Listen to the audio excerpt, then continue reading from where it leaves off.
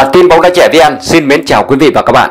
Lời đầu tiên xin chúc mừng chiến thắng của tuyển Việt Nam trước đội tuyển UE hùng mạnh. Xuất sắc hạ UE bằng siêu phẩm của Tiến Linh, Việt Nam vượt Thái Lan dẫn đầu bảng G vòng loại World Cup 2022. Tiến Linh ghi tuyệt phẩm xuất xa ở cuối hiệp 1, giúp tuyển Việt Nam đánh bại đội tuyển UE 1-0 và giành 3 điểm quan trọng tại bảng G vòng loại World Cup tối ngày 14 tháng 11 2019 trên sân nhà Mỹ Đình. Đúng với những gì mà huấn luyện viên Bang Sơ đã dự đoán, UE nhập cuộc theo kiểu muốn chơi tất tay trước tuyển Việt Nam, bất chấp sức ép từ các khán đài sân Mỹ Đình. Đội khách chủ động cầm bóng và triển khai thế trận theo cách họ muốn, nhờ thể hình và thể lực vượt trội. Tuy nhiên, trong khoảng 20 phút đầu tiên, UE không có ý tưởng nào tấn công ra hồn. Việc thiếu vắng ba trụ cột rõ ràng đã ảnh hưởng rất nhiều đến sức mạnh của đại diện Tây Á. Trong khi đó, các học trò của ông Bang Sơ chủ động thu mình để tìm cơ hội phản công. Cách chơi này giúp tuyển Việt Nam kìm hãm và vô hiệu hóa được nhiều đợt tấn công của đối thủ. Bộ ba trung vệ Duy Mạnh, Ngọc Hải và Tiến Dũng ngày càng cho thấy sự ăn lý trong bóng lót, khiến đội bóng áo trắng chật vật trong cách tiếp cận khung thành của Đặng Văn Lâm. Trận đấu trôi qua với tốc độ đều đều và không có nhiều tình huống đáng chú ý. Cho đến khi xảy ra bước ngoặt ở phút 37, hậu vệ UE truy cản Tiến Linh từ phía sau trong một tình huống lên bóng nguy hiểm của đội tuyển Việt Nam và phải nhận thẻ đỏ trực tiếp từ tay trọng tài.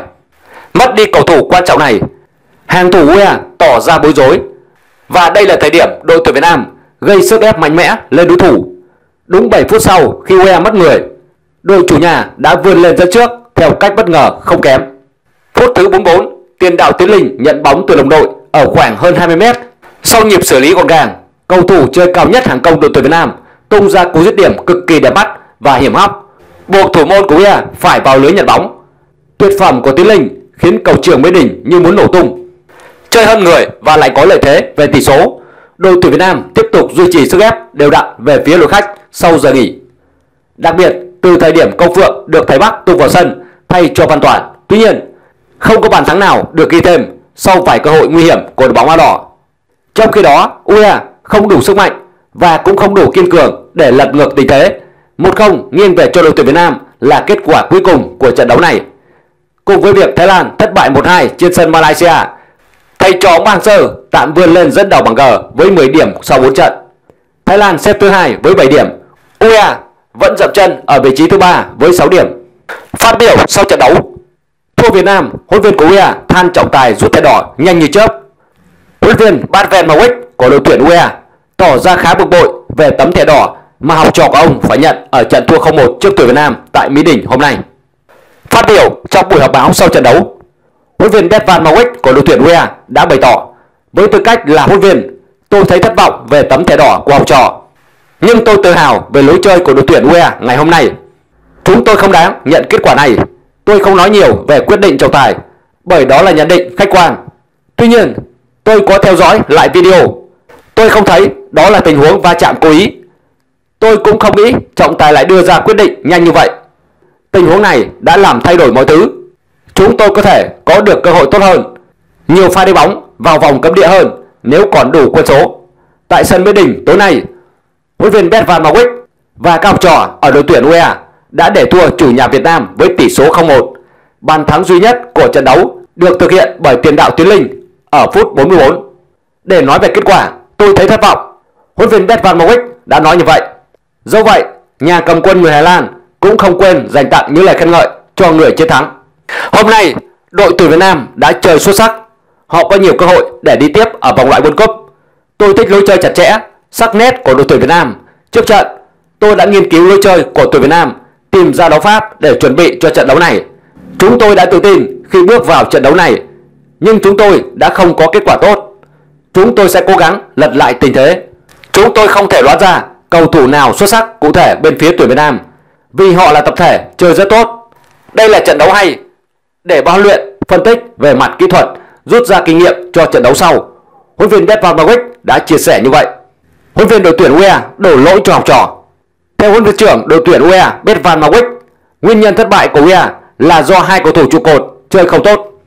Đánh giá về kết quả trận đấu và thẻ đỏ mà học trò phải nhận, huấn viên Bert Van Marwijk cho biết với tư cách là huấn viên, ông vô cùng thất vọng nhưng tự hào với lối chơi của đội bóng vì chiến lược gia người Hà Lan cho rằng đội tuyển UE không xứng đáng với kết quả thua này. Tôi chưa bao giờ thấy trọng tài đưa ra thẻ đỏ nhanh như vậy. Đó là tình huống chủ chốt. Chúng tôi đã cố gắng tạo ra cơ hội. Chúng tôi đã có thể có chiến thắng. Các pha đi bóng vào vòng cấm địa và đe dọa nhiều hơn không thành của đội tuyển Việt Nam. Tôi cảm thấy thất vọng về kết quả nhưng hài lòng về cầu thủ. Huấn luyện viên Mawick đã nói như vậy.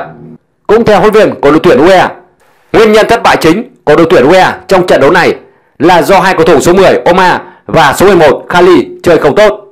Chúng tôi có hai cầu thủ là số 10 và số 11 chơi không tốt trong trận đấu ngày hôm nay và đó là nguyên nhân chính dẫn tới trận thua của đội tuyển UE. Nói về màn trình diễn của đội, chúng tôi đã cải thiện một số mặt. Có vài cầu thủ chấn thương, nhưng cầu thủ còn lại của chúng tôi phải xoay sở để tìm ra đấu pháp hợp lý. Đánh giá về đối thủ đội tuyển Việt Nam, huấn luyện viên người Hà Lan khẳng định đội tuyển Việt Nam là đội bóng chơi xuất sắc, có cơ hội để đi tiếp vào vòng sau.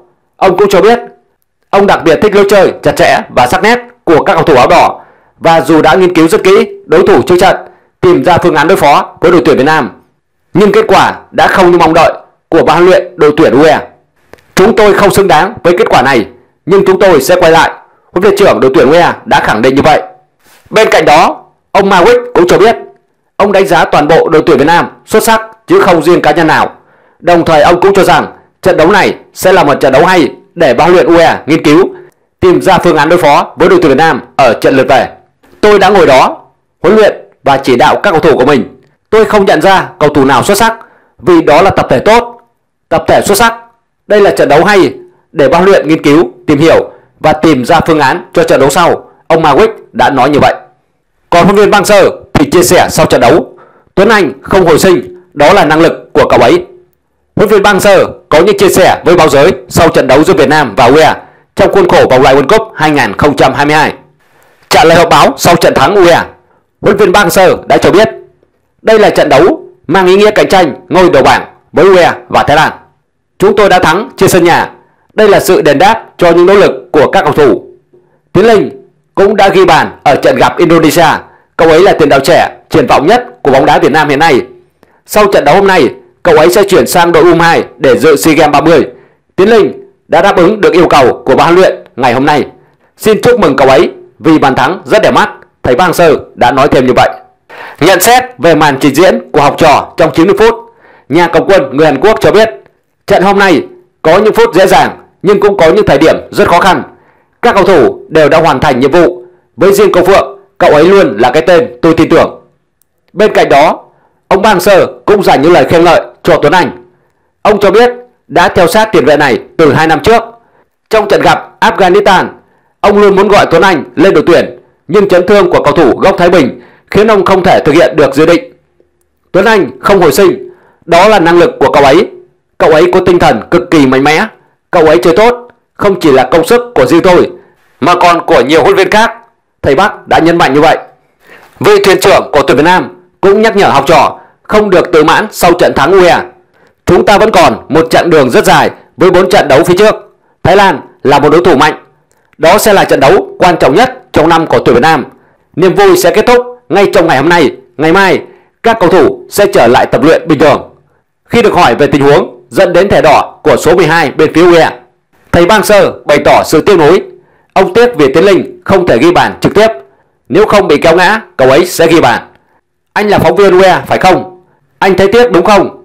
Nhưng tôi còn tiếc hơn anh, thầy bác đã dí dỏm như vậy.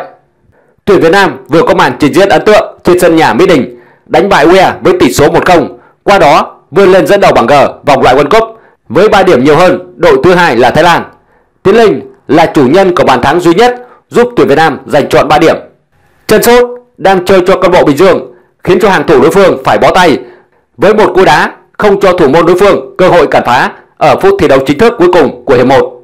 Có thể nói đây là một tuyệt phẩm trên sân Mỹ Đình, lá vàng rơi.